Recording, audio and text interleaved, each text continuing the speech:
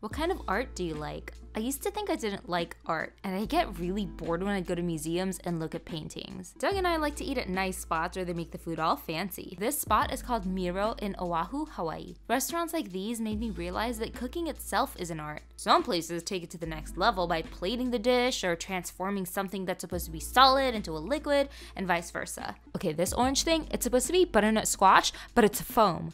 There's dandelions in this pork belly dish, and in this dessert, they put goat cheese. It's mind blowing the amount of talent that goes in these dishes. Fine dining is art and science dancing together, and you get to eat it, and it tastes good. I think food is the best type of art there is.